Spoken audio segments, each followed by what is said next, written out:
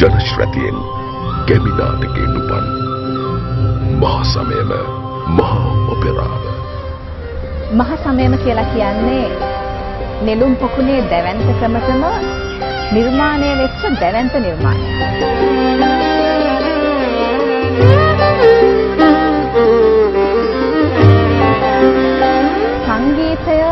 පරතරට ගිය උදවිය කතා කරනවා මේක සංගීතය මූලික කරගත්තු නිර්මාණයක් කියලා. ගගන ගංගා තලෙන් දූතිකාවන් හෙළද නාට්‍ය අංශයෙන් පරතරට ගිය උදවිය කතා කරනවා මේකේ නාට්‍යමය ගුණාංග නිසා මේක නාට්‍යමය ලක්ෂණ අඩංගු නාට්‍ය නිර්මාණයක් කියලා. යමෙකු වේ නම් මැයට වින කළ කමා නොකරමි හරිමි අලු කර. පෙනී සිටිනුය මා දැස් පිට පෙනී සිටිනුය මා දැස් පිට. හේ! දර්ශනය පරතරට පරතරට ගිය අය උදවිය කතා කරනවා.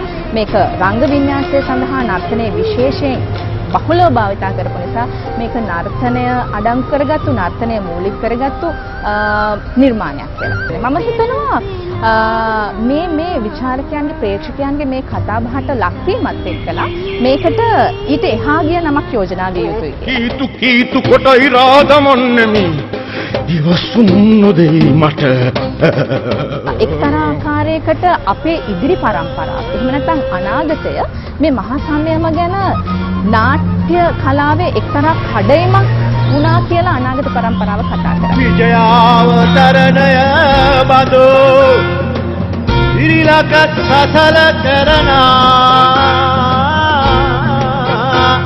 වෙලාගෙන සිත් වතාගෙන නෙත් තම්බපන්නි සොහනේ මේ නිර්මාණයේ මූලිකය එහෙම නැත්නම් මහාචාර්ය ආර්යරත්න ඇතුගලයන් ගැන විශේෂයෙන් වචනයක් කිය යුතුයි. ඔහු ඇත්තෙන්ම සොඳුරු ආඥාදායකයෙක්.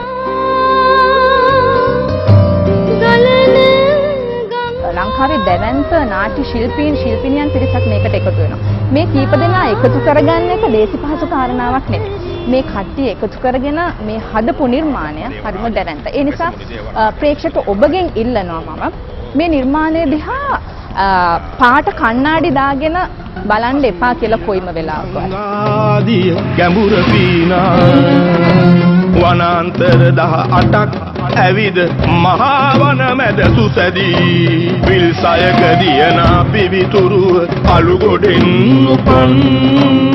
මේ නිර්මාණය නොබලා කරන විවේචනයට වඩා මේ නිර්මාණය බලලා කරන ප්‍රතික්ෂේපය අපිට ගොඩක් වටිනවා. ඒ නිසා බලන්න ඇවිල්ලා මේ නිර්මාණය දිහා මේ ගැන කතා කරන්න.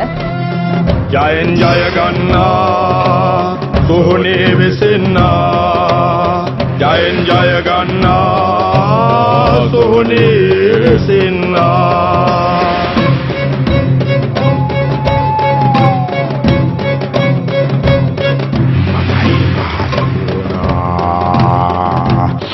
මමයි මහතු ඇත්තට මහා සමයම තුල මම කරන්නේ සෝන දේවියගේ චරිතය. සෝන දේවිය චරිතය කියලා කියන්නේ ගෝඨයිම්බරගේ බිරිඳගේ චරිතය.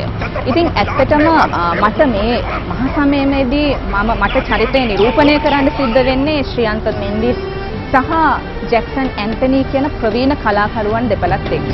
රුවැටි ගුණැති මන පිනවන සොඳුරු මහද සැලෙනා.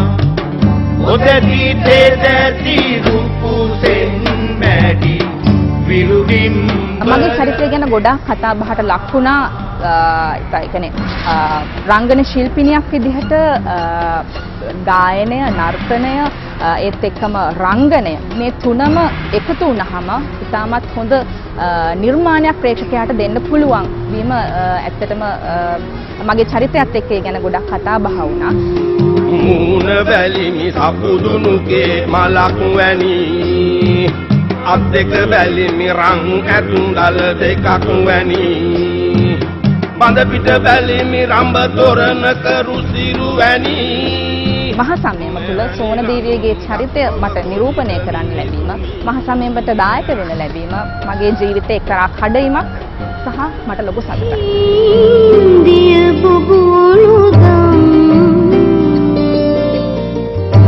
තිසර ලැම් සිප ගනී